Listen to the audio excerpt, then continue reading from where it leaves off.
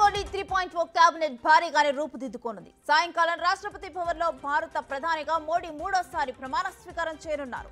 ఆయనతో పాటు మరో ముప్పై మంది మంత్రులు ప్రమాణ స్వీకారం చేస్తారు. ఇప్పటికే భారీ భద్రతతో ఢిల్లీలో హై అలర్ట్ ప్రకటించారు. మంత్రివర్గంలో దాదాపు ఎనభై ఒక్క మందికి చోటు దక్కినట్లు తెలుస్తోంది. కేంద్ర కేబినెట్లో తెలుగు రాష్ట్రాల నుంచి ఐదుగురికి ఛాన్స్ దక్కింది.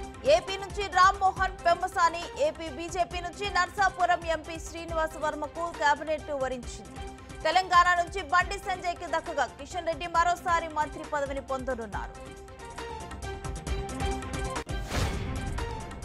కేంద్ర మాజీ మంత్రి దివంగత నేత ఎర్రన్నాయుడు కుమారుడుగా రాజకీయాల్లోకి వచ్చిన రామ్మోహన్ నాయుడిని కేంద్ర మంత్రి పదవి వరించబోతోంది. గుంటూరు లోక్సభ నుంచి తొలిసారి ఎంపీగా ఎన్నికైన డాక్టర్ పెమ్మసాని చంద్రశేఖర్ దేశంలోనే అత్యధిక ఆస్తులు ఉన్న ఎంపీగా సంచలనం సృష్టించారు. డీకే అరుణ ఈటల రాజేందర్ కేంద్ర మంత్రి పదవులపై ఆశపడినప్పటికీ నిరాశ మిగిలింది ప్రస్తుత బీజేపీ రాష్ట్ర అధ్యక్షుడైన కిషన్ రెడ్డిని కేబినెట్లోకి తీసుకోవడంతో ఈటల లేదా డీకే అరుణలో ఒకరికి రాష్ట్ర అధ్యక్ష పదవి ఇవ్వాలని అధిష్టానం భావిస్తున్నట్లు పార్టీ వర్గాల్లో చర్చ జరుగుతోంది. వైఎస్ఆర్ విగ్రహాలపై దాడులు అత్యంత దారుణమని ఏపీ కాంగ్రెస్ అధ్యక్షురాలు షర్మిల ఆగ్రహం వ్యక్తం చేశారు. తమ పార్టీ ఈ దుశ్చర్యలను తీవ్రంగా ఖండిస్తోందని ట్వీట్ చేశారు. తెలుగు ప్రజల గుండెల్లో వైఎస్ఆర్ చెదిరిపోని జ్ఞాపకమని అన్నారు. వైఎస్ఆర్ని అవమానించే చర్యలకు పాల్పడిన వారిపై ప్రభుత్వం కఠిన చర్యలు తీసుకోవాలని డిమాండ్ చేశారు. రేణిగుంట జాయింట్ సబ్ రిజిస్ట్రార్ శోభారాణిపై సస్పెన్షన్ వేటు పడింది ఇరవై ఒక్క లక్షల యాభై మూడు వేల ఖజానాను చెల్లించకపోవడంపై వేటు వేశారు అధికారులు.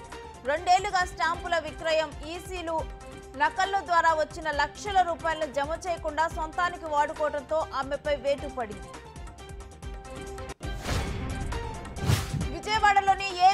ఏపీ కార్యాలయాన్ని సీజ్ చేశారు. కార్యాలయాన్ని పోలీసులు తమ ఆధీనంలోకి తీసుకున్నారు. ఏపీ ఎండీసీ ఇన్ఛార్జ్ వెంకటరెడ్డి బదిలీ కాగానే కార్యాలయానికి తాళాలు వేశారు.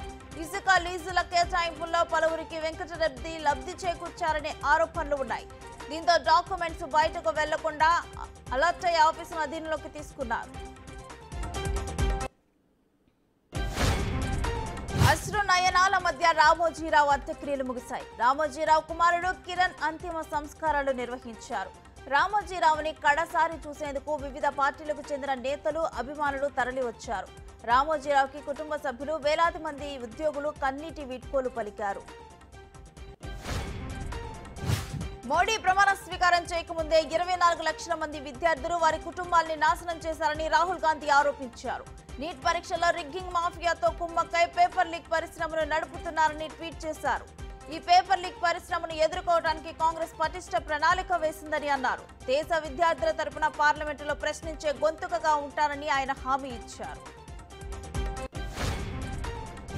టీ ట్వంటీ ప్రపంచ కప్లో అసలు సిసలు సమరానికి రంగం సిద్ధమైంది. భారత్ పాకిస్తాన్ మధ్య గ్రూప్ ఏ పోరు నేడు జరగనుంది. ఈ మ్యాచ్ రెండు జట్లకు కీలకమే కావడంతో ఆట రసవత్తరంగా సాగనుంది.